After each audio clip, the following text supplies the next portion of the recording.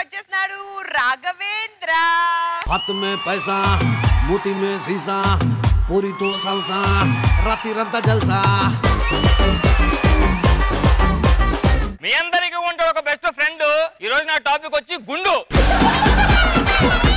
నా చిన్నప్పటి నుంచి గుండు చేయించుకోవడం వల్ల చాలా ప్రాబ్లమ్స్ వచ్చినాయి. ఆ ప్రాబ్లమ్స్ ఎలా ఉంటే మీ అందరికీ చెప్తా అన్న. మా పల్లెటూరులో ఎండాకాలంలో నీళ్ళు ఉంటాయో లేదో తెలియదు కానివ్వండి నా గుండు మాత్రం కంపల్సరీ ఉంటారండి ఏ నాన్నమ్మ ఇంటికి వెళ్తాడు? కానీ మా బాబు నడు చూశారు? మా బాబు తీర్థార్థాలు తీసుకెళ్ళి గుండు కొట్టుతాను గుండు. ఇది ఎలా ఉంటే చిన్నప్పుడు హోంవర్క్ చేయకపోయినా సరే స్కూల్కి వెళ్ళొచ్చు కానీ గుండు చేయించుకొని మాత్రం స్కూల్కి వెళ్ళకూడదు అనుకున్నానండి ఏమంటారా ఎప్పుడు మా టీచర్ గారు బెత్తం ఎక్కడ పడతారు కొట్టేదండి. ఎప్పుడైతే గుండు చేయించుకున్నానో ఉన్నకుండా నా గుండు మీద కొట్టేదండి. సర్లే మా ఫ్రెండ్స్ దగ్గరికి వెళ్ళాను అనుకోండి. వాళ్ళు ఎలా ఎంటర్ అయినా లేదో. ఏ గుండు గుండు గుండున్నారా? టైం చెప్తే రెండున్నారా? ఇంటికి వెళ్తే ఇడ్లీ లేదు పెళ్ళికి వెళ్తే పిల్లం లేదు అంటారండి అని నేను ఉన్నదే ఇంత. ఆ వయసులో పిల్లం పిల్లలేటి నాకు అర్థం కాదు. వెనకడికి ఇలాంటి వాళ్ళండి ఇంటర్వ్యూకి వెళ్ళాక వెయిట్ చేయండి అమ్మా అంటే డబ్బులు ఎక్కడ సరే రకాలండి ఇవి?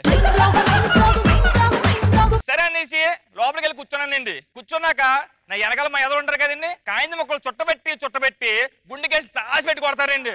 ఎవడో వెనక తిరిగి వస్తే ఏ ఎవడు కొట్టారు చెప్పుకుంటారండి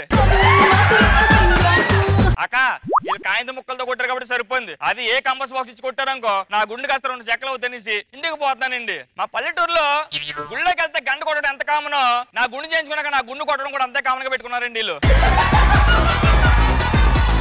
ఇదిలా ఉంటే బయట ఉండి వెళ్తే ఎవడొకటి ఒకటి ఏదో అన్నారనేసి ఇంటికి వచ్చి పడుకున్నానండి నాకు చెల్లి ఉంది దానికి ఇద్దరు కుర్రోళ్ళు ఉన్నారు. ఇంటికి వెళ్ళగానే ఏ మాయగుండి నచ్చింది మాయగుండి నచ్చింది కూర్చుంటారండి.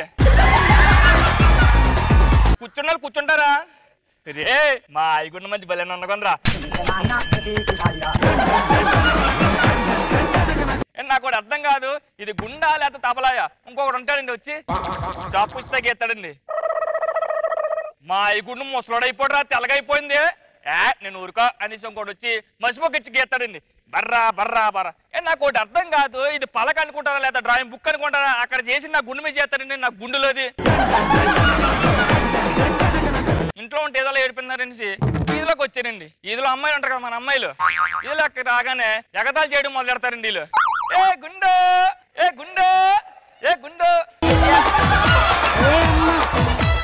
నేను అప్పుడు వాళ్ళు కూడా చెప్పా. ఏ? గుండులో గజనీ గారి సినిమా చేస్తే ఇట్టావు లేదా? గుండు బస్! అని శివాజీ గారి సినిమా చేస్తే ఇట్టావు లేదా? పార్టీ లేదా పుష్ప? అన్న డైలాగ్ ఎంత ఇట్టయింది అండి ఒకటే గుర్తు పెట్టుకోండి వాళ్ళు పెద్ద తెర మీద కనబడతాడు ఈ రాఘవేంద్రుడు బుల్లి తెర మీద కనబడతాడు. మీద అంత సేమ్ టు సేమ్ బేసిక్గా నా గుండె వల్ల వచ్చిన ప్రాబ్లమ్స్ ఎలా ఉంటాయండి?